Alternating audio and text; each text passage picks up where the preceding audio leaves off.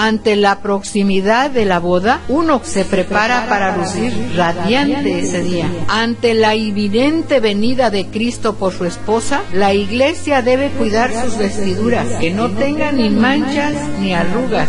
A la esposa se le dice que se vista de lino fino, y esto no se logra si no hay arrepentimiento. Es lo que hace la diferencia de una virgen sensata a la imprudente. El arrepentimiento, dejando atrás actitudes y pensamientos que ofenden a Dios, adulterio, fornicación, inmundicia, lascivia, idolatría, hechicerías, de la palabra griega farmaqueía, que es consumo de drogas, enemistades, pleitos, celos, iras, contiendas, disensiones, herejías, envidias, homicidios, borracheras, orgías y cosas semejantes a estas no heredarán el reino de Dios, porque el Señor es santo y sin santidad y sin la paz con todos, nadie lo verá.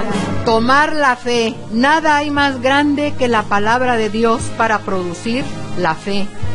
La fe que hace falta para seguir al Señor hasta el final. Tomar la fe y crecer en ella nos dará entusiasmo para predicar, orar, ayunar, buscando la pureza, el arrepentimiento, la responsabilidad y la exigencia de consagrarnos a Jesucristo. Es necesario poner los pies en la voluntad de Dios, estar despierto, ser sobrio y velar, tener vidas ordenadas para cumplir con el llamamiento del Señor. La victoria nuestra ha sido ganada en la cruz. Hay que vivirla y proclamarla, vivir la vida a la manera de Jesús el ungido. La victoria está en la palabra. Necesitamos carácter y acciones porque el tiempo es corto.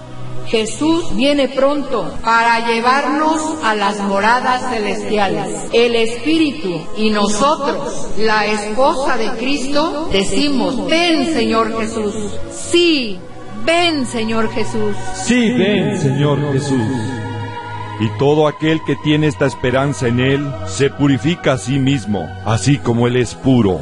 Pero el día del Señor vendrá como ladrón en la noche en el cual los cielos pasarán con gran estruendo, y los elementos ardiendo serán deshechos, y la tierra y las obras que en ella hay serán quemadas, puesto que todas estas cosas han de ser deshechas. ¿Cómo no debéis vosotros andar en santa y piadosa manera de vivir?